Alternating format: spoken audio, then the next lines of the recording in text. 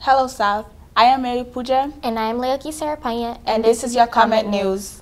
Our orchestra will have its fall concert today in the South Gwinnett Theater starting at 7 p.m. Tickets are $8. You can get one at gofan.co.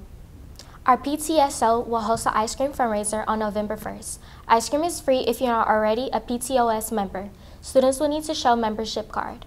Future Georgia educators are hosting their annual canned food and non-perishable drive. This is your opportunity to help families in need this holiday season.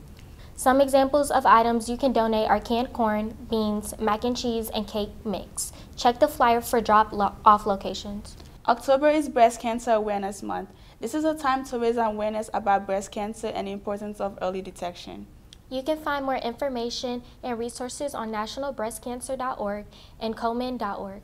Did you know there is a Google Classroom dedicated to job and career opportunities for you? Join Career Builder to start searching. The Google Classroom link and code is on the eClass announcement. We will be back after this commercial break.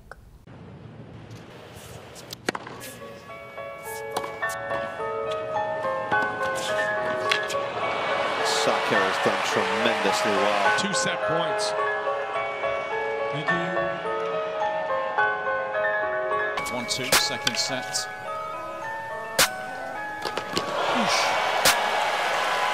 Who has added so much. She drops just three again. A testament to... Well, that was one to put into the play.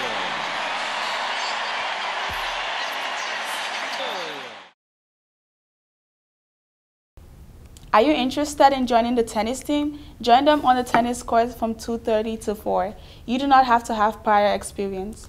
ASVAB testing is November 21st. The deadline to register is November 18th at 2 p.m.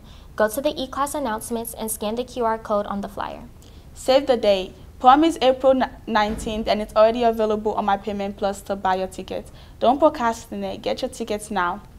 Join Berkmar, Brookwood, and GSMST to rally all those affected by the hurricane, Environmental Club, Beta Club, and Student Council are collecting canned goods, baby formula, blankets, socks, and cleaning supplies. You can drop off your donations to D213 and A110 now through October 25th. That's tomorrow. All proceeds will be donated to North Carolina. That's, That's all, all for your comet news. Have, Have a great comet day. day.